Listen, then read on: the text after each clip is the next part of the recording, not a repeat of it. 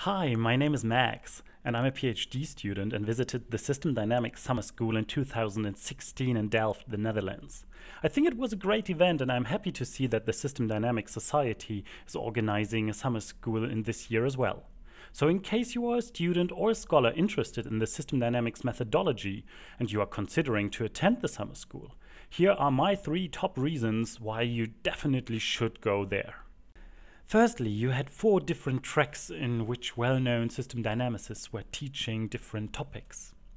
The basic track provided an introduction to system dynamics for beginners within the field using the software PowerSim, and the lecturer was Len Malczynski, the 2017 president of the System Dynamics Society. The second track covered facilitated modeling, in which Etienne Rouwette, the 2016 president of the System Dynamics Society, and his colleagues Inge Bleijenbergh and Monique Lansu presented how group model building is working and how to use system dynamics to facilitate different stakeholder perspectives. Furthermore, the track offered a course on agile system dynamics. This was offered by Kim Warren, a former president of the System Dynamics Society and a J. Forrester Award winner. He presented his approach on how to involve clients into the modeling process using software Sysdea. He especially focused on how to transfer spreadsheet thinking into feedback thinking. The advanced track was provided by James Houghton, Jan Kwakkel, and Eric Pruyt and his PhD students. They presented very advanced topics for system dynamics, including how Python can handle big data, deep uncertainty, and how to simulate several hundreds and thousands of model runs for robust policy design. There was a block on hybrid modeling combining system dynamics and agent based modeling, and Jim Duggan presented how to use R for system dynamics. The intermediate track covered topics like deep uncertainty, the use of Python and system dynamics, which is, by the way, called PySD, advanced modeling issues, some group model building, and model analysis. The intermediate track was a mix of the three tracks mentioned before, so attendees could decide on which lectures and workshops to attend.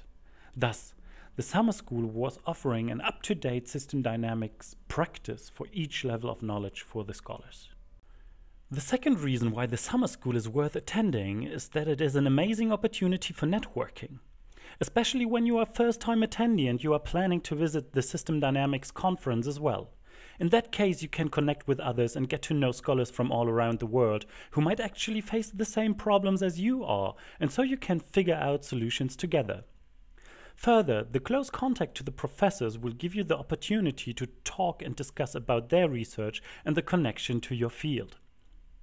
And since the professors are well connected within the system dynamics community, they might refer you to persons within your specific domain. My last argument in favor of the summer school concerns the individual consultation.